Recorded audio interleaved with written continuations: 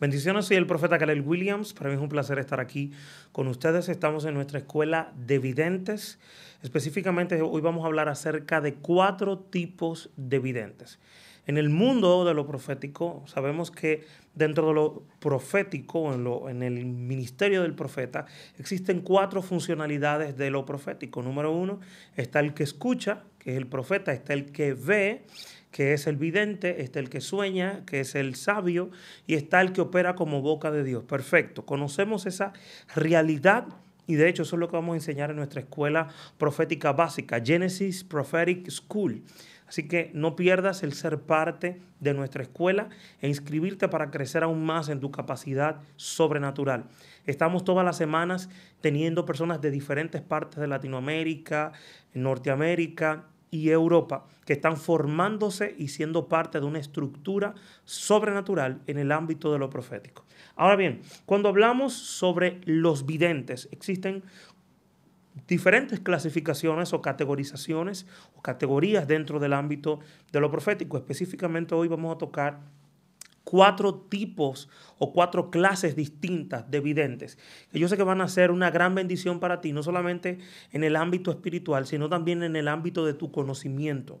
Quiero que sepas que nada que no tengas capacidad de poder entenderlo, lo vas a poder administrar correctamente. Por eso nuestras clases son altamente claras para que las personas puedan entender y no solamente entender, sino también operar en su llamado y en la realidad espiritual que está operando dentro de ellos.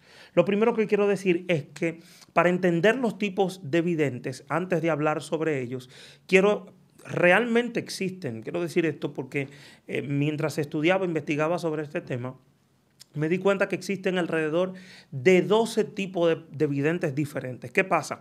Que como nuestro enfoque de esta clase no es secular, no es abierta, para eso tenemos otra, otra, otro proyecto que estamos abriendo que se llama Minds Republic, que es para enseñar lo profético, pero de manera secular. Pero este proyecto que es para personas que son creyentes, cristianos, que están en esa vida eh, de crecimiento a nivel personal, vamos a decirlo también hasta, hasta cierto punto religiosa, eh, voy a tocar solamente cuatro, perdón, voy a tocar solamente cuatro tipos de videntes que son los que nos, nos eh, competen en este estudio de lo profético. Ahora bien, la realidad es que yo sé y otros profetas que me van a ver saben que existen alrededor de 20, de 12 a 20 tipos distintos de profetas, dependiendo del enfoque o del lugar en donde tú estés operando. Ahora bien, cuando hablamos acerca de los videntes, la realidad es que, hay una premisa de la que tenemos que partir y es que Dios habita dentro del hombre. Por años nos encontramos gente en diferentes lugares del mundo que hablan acerca de la subconsciencia o de la supraconciencia, el desarrollo de Dios en el interior. Hay una realidad que tenemos que, entender y es que Dios habita dentro del hombre.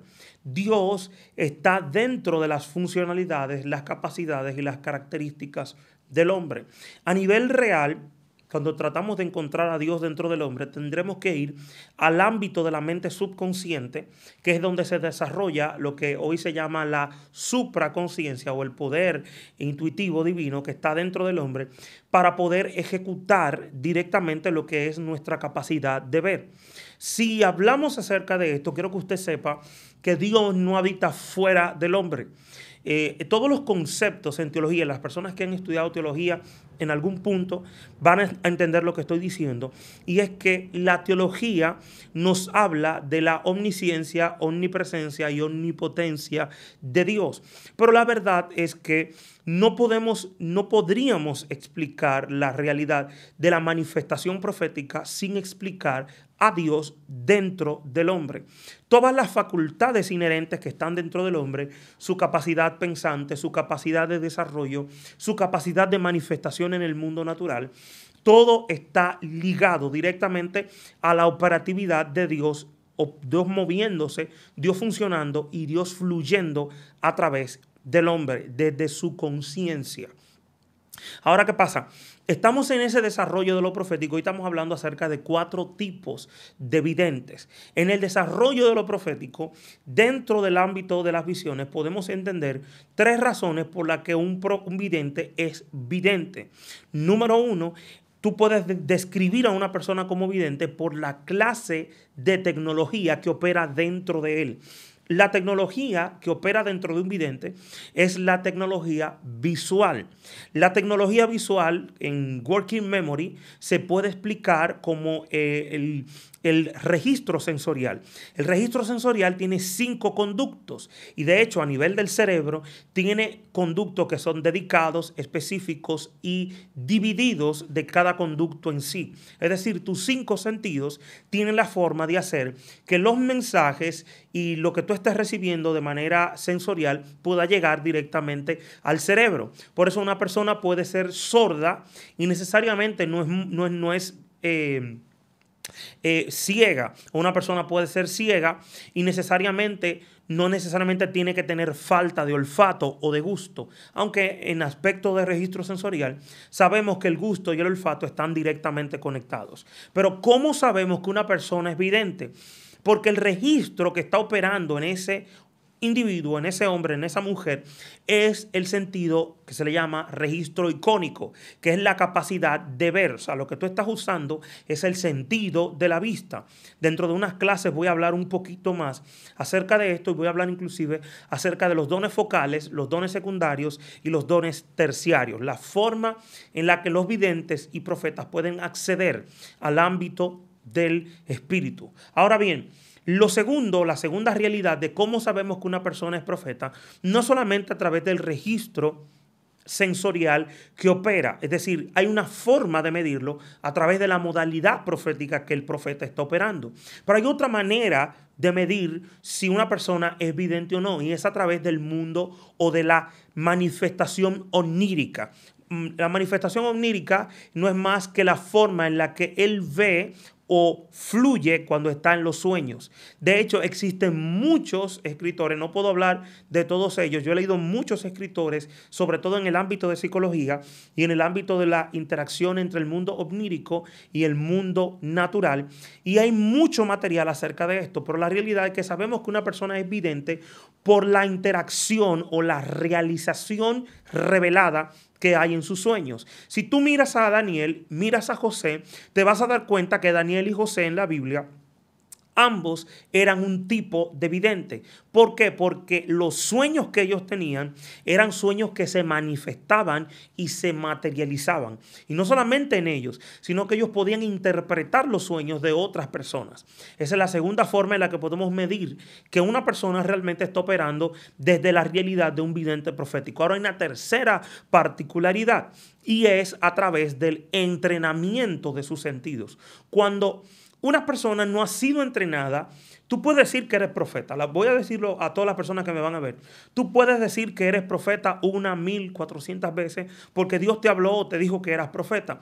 Pero la realidad es que para ser un profeta verdadero tienes que tener entrenamiento.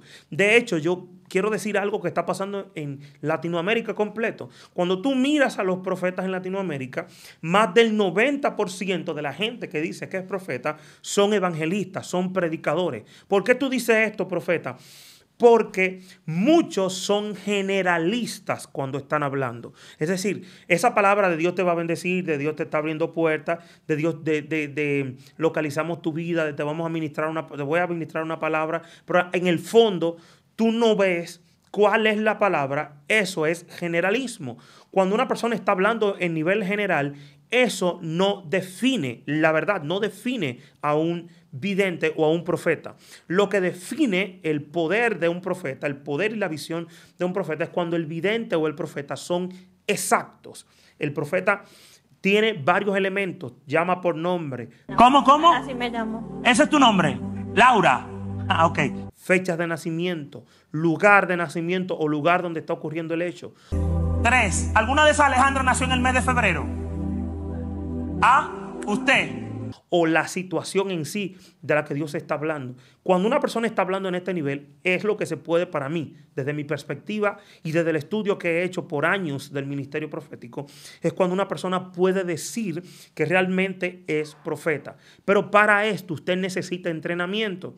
Usted puede tener dones, puede tener facultades, pero la realidad es que dones sin entrenamiento son un peligro. Ahora voy a entrar más profundo en mi tema. Cuatro tipos de videntes. Y estos son los cuatro tipos de videntes que yo he podido ver en el desarrollo de lo que he tenido, de lo que he hecho a nivel ministerial en investigación a nivel personal y estudio también de, este, de esta materia. Número uno, la primera clase de videntes para todos los que les gusta, eh, videntes proféticos. El primer nivel o la primer, primer tipo de videntes que vamos a abordar son videntes proféticos. Los videntes proféticos son personas que están especializadas en visiones y revelaciones divinas que les permiten mirar el pasado, presente y futuro.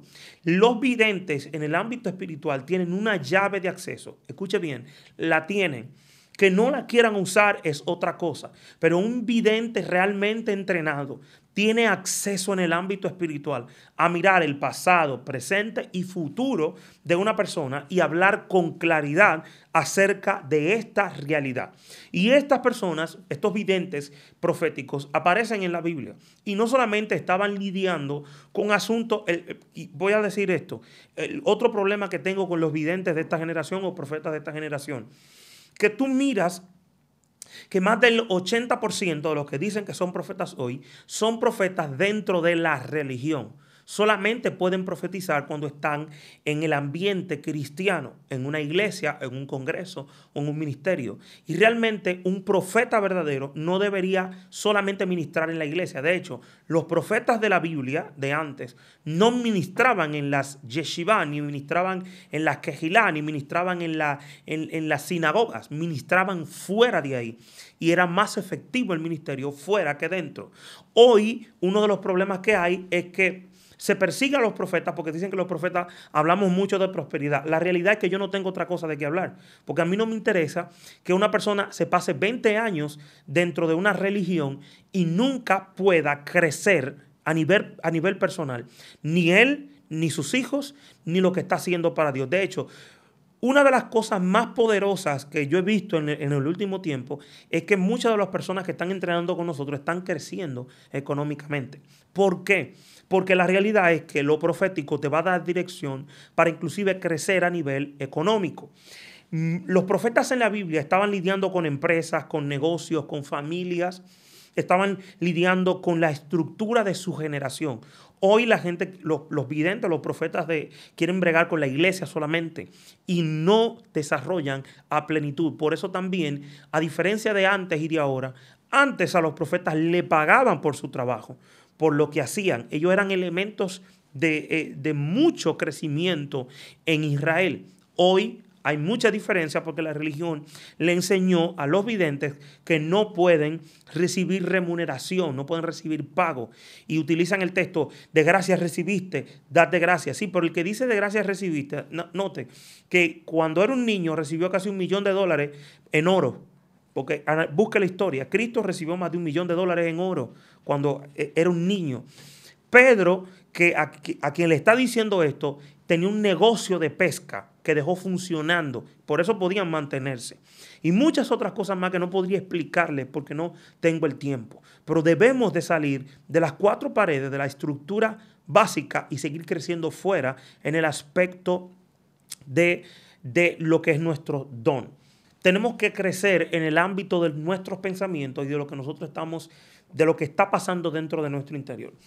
Bendiciones, soy el profeta Kalel Williams y estoy aquí para invitarte a nuestra próxima cumbre profética global, Global Prophetic Summit, en la ciudad de Bogotá, Colombia, los días 4, 5 y 6 de octubre. Prepárate para recibir una impartición sobrenatural del Espíritu, algo fresco y bien glorioso que Dios va a hacer en este tiempo. 4, 5 y 6 vamos a estar en el Radisson Bogotá Metro Hotel Vamos a estar desde el viernes a las 10 de la mañana, vamos a tener escuela profética viernes y sábado a partir de las 10 de la mañana y vamos a tener conferencias el sábado en la noche. El domingo tendremos una reunión especial bien privada para los, los que se inscriban con el ticket VIP para que puedan ser parte del Rosh Hashanah que vamos a celebrar en la ciudad de Bogotá.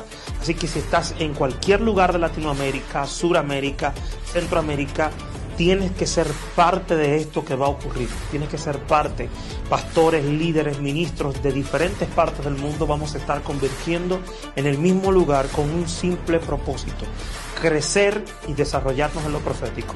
El viernes y sábado de la mañana voy a estar dirigiendo una escuela llamada Escuela de Profecía por Evidencia Inmersiva. Vamos a tener dos días de inmersión en cómo desarrollar la tecnología profética de nuestros oídos, nuestros ojos espirituales, que podamos ver, oír y fluir en revelación. Si quieres aprender cómo profetizar más preciso con nombres, detalles específicos, fechas, este evento es para ti.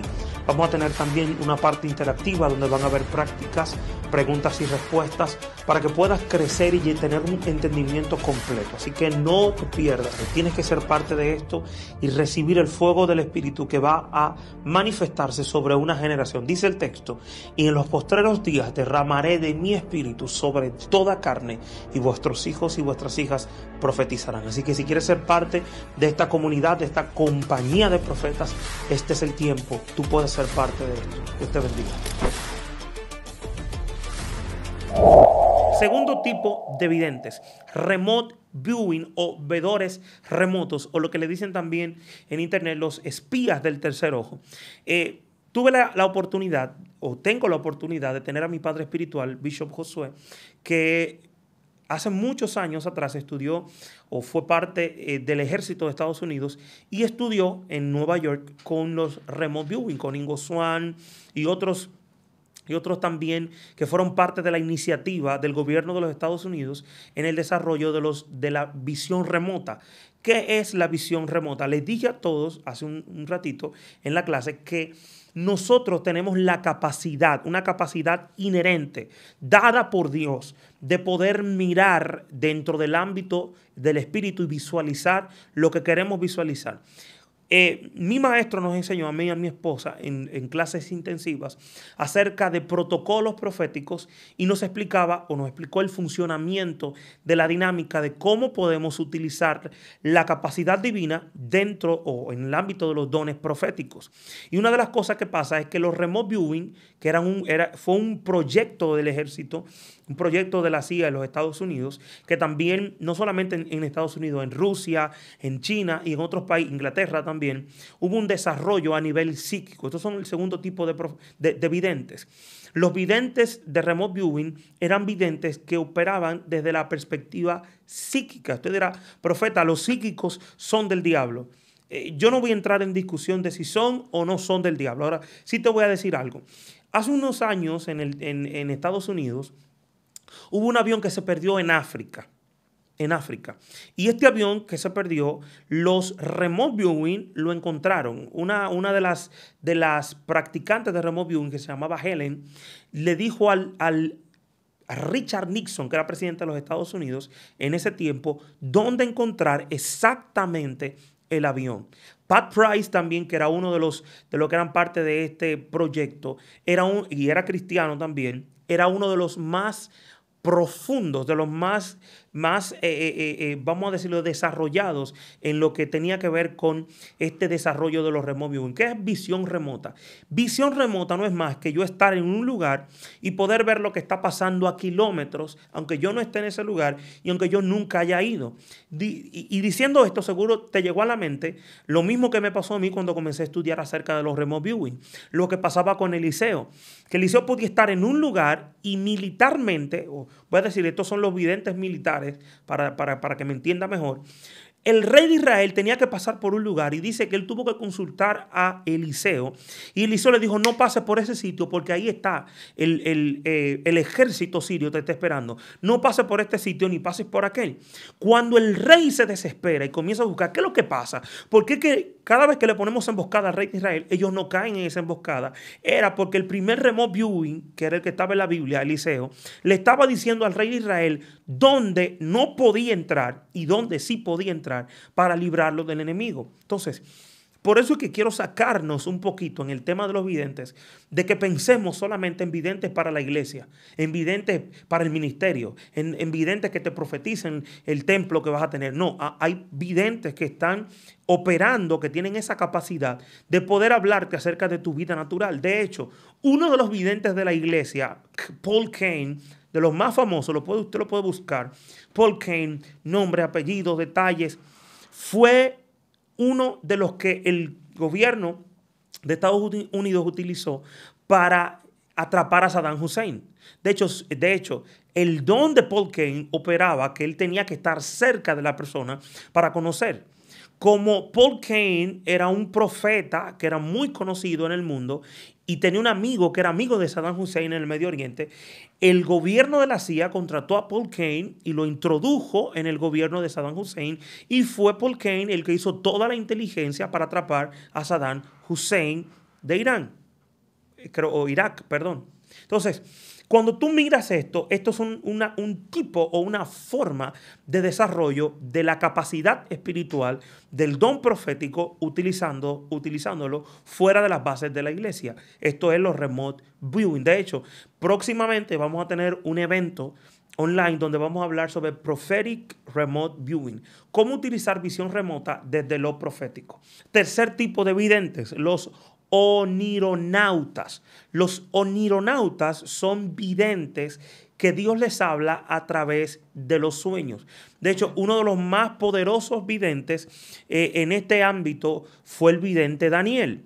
Daniel inclusive sentó las bases para el desarrollo de lo que es lo profético en la profecía eh, atmosférica o profecía geológica. Usted seguro no habrá entendido nunca o nunca habrá escuchado este concepto, pero es un concepto que se trabaja mucho en, códigos proféticos, que es la, la profecía también ambiental. Eh, eh, Daniel es quien explica cómo tú puedes, a través de señales, signos del cielo, a través de las estrellas, cómo encontrar rutas y cómo encontrar lugares y cómo encontrar personas en lo profético. Por eso, cuando la Biblia habla de los sabios que le, donaron oro, que le donaron incienso y mirra, dice que ellos seguían, el, seguían la estrella. Es decir, ellos obtuvieron guianza, revelación y, vamos a decirlo así, instrucción profética a través de señales físicas. Eso se llama profecía ambiental. Ahora bien, ¿Cómo recibía revelación Daniel? Daniel recibía revelación en los sueños. De hecho, hay mucho material acerca de esto. Y no solamente Daniel, también José.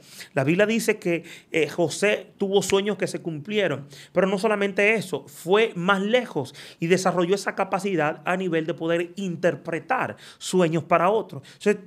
Este, este, nivel de los sueños es un nivel de crecimiento también. El mundo onírico es sumamente amplio. De hecho, voy a tener unas clases también que ya van a subir a la plataforma de YouTube, donde vamos a hablar un poquito más acerca de cómo poder interpretar sueños. E inclusive quiero invitarte a que seas parte de, de la escuela Profética Nido de Águila, donde vamos a hablar en, en la sección de Genesis Prophetic School. Vamos a hablar en uno de los módulos sobre interpretación de sueños en alto nivel. No solamente interpretación, vamos a tener inclusive prácticas acerca de cómo interpretar sueños. Así que no te lo pierdas.